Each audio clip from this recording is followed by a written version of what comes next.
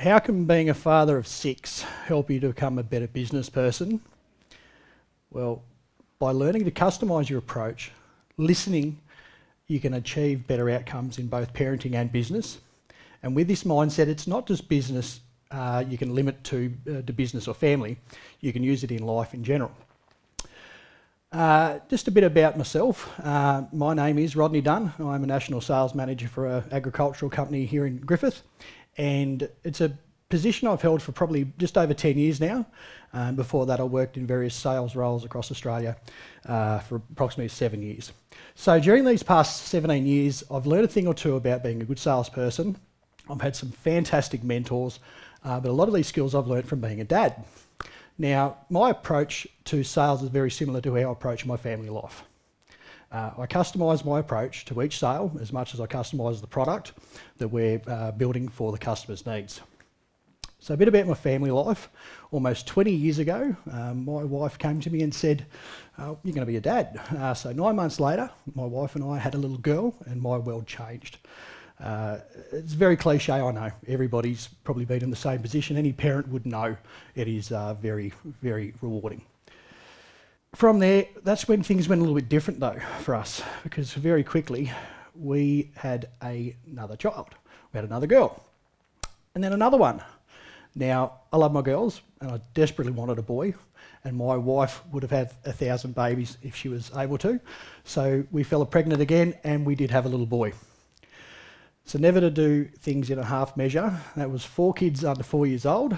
And what I quickly realised is that the eldest daughter was very different to the second daughter and the third. Girl C, the, the third girl, was more of a tomboy. She was a bit of a rat bag and she was always outside playing in trees, running around.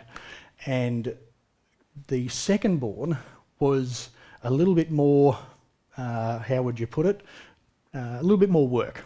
She was, she'd had allergies, she had projectile spews, all of those lovely things as a parent. And uh, the firstborn, well, she was just a, she was quite happy and healthy. And the little boy, he was just very chilled out little dude. He had to go with the flow. It didn't take me uh, long to realise what worked with the eldest daughter didn't work for the second, and so on. I could throw the third born daughter up in the air and she'd just giggle her head off and have a, have a great time. Whereas if I did it to the other two, they would have hated it and they would have freaked out and cried. So subconsciously, I started to customise my approach by listening to them and thinking about what they needed. I just didn't know I was doing that yet. So during my wife's upbringing, her family had also been very involved in foster care. And this is something that rubbed off on my wife and I. So with a young family of four and my me starting a career in ag- agricultural sales, uh, we started foster care as well. So like I said, nothing in half measure. So our family of six went to a family of eight, to a family of seven, back to a family of eight, over a period of about seven years while we did foster care. Every uh, child coming into our care was different, and we had some that were little adults. They were the parent of the family, and they had to be because they were the ones making the food for their mum because mum was an alcoholic and she couldn't look after herself. We had some that were very quiet and shy. We had some with behavioural issues, and some that just needed a place to stay for a little bit while you know, things got sorted out at home. We found this a very challenging period uh, in our lives, but a very rewarding one. And growing as a father, I continued to learn that what one worked for one child didn't work for another. So my wife has an amazing way of tuning into each child, including our own, about what they really needed, and then she was able to guide me to become a better dad. She showed me that each child was individual, and even though they had to follow the same rules at home, they had to be looked at as an individual. So, customising that approach. Now, anybody that's been involved in foster care, they, they, know that it is it's very hard to not get attached to the children, and this takes a toll after a while. When you have children in your care and they come and then they uh, be either reunited with family or whatever the situation happens, uh, becomes too hard to, to sort of do it, and it wears you down after a while. So after seven years, uh, we decided that we were going to have a bit of a break. At that point in our lives, my wife come to me with a fantastic idea. She says to me, you know how I don't like even numbers? I'm a bit, I'm an individual. I like odd numbers. Why don't we have a fifth baby? Everybody can see where this is going. I resisted as long as I could. Finally, I cracked and said, okay, you've got three months. And if we don't fall pregnant in three months, I'm getting a snip. We're done. So within a month and a half, my wife comes to me and says, guess what?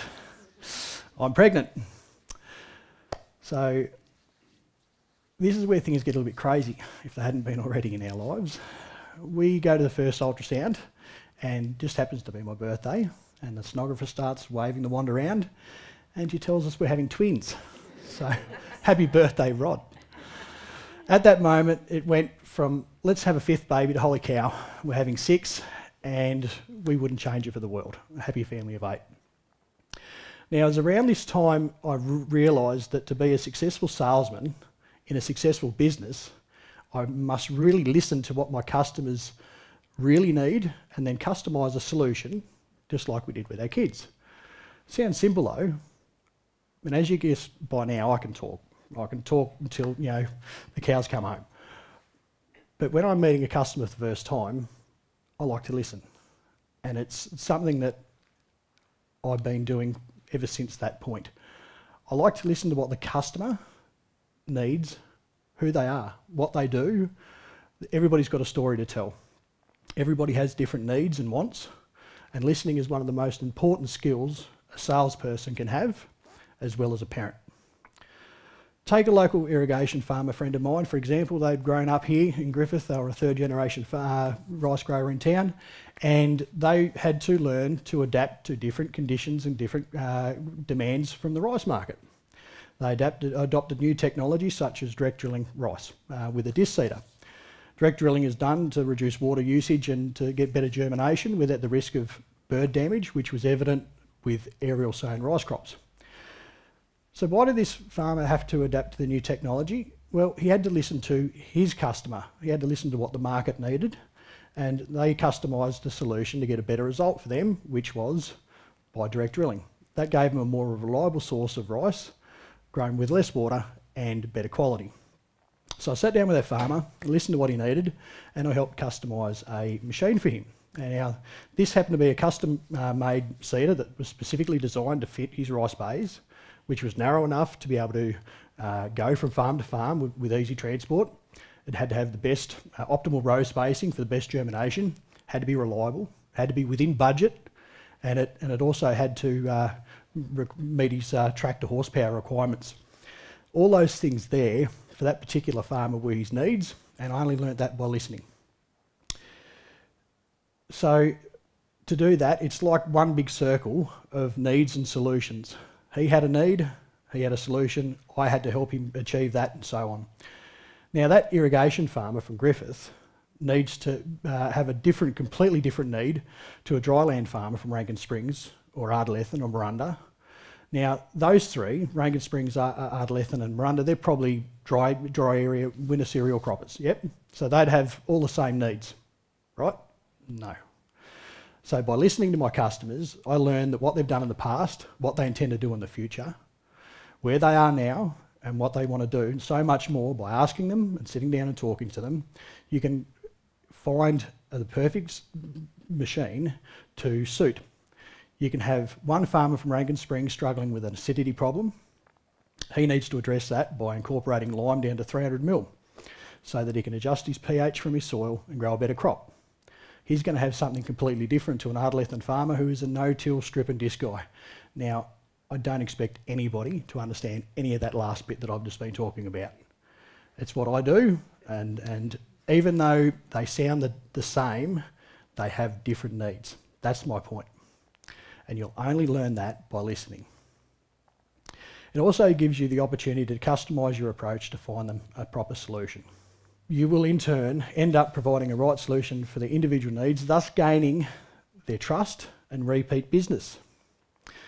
Both of these are vital for a business to be successful long term.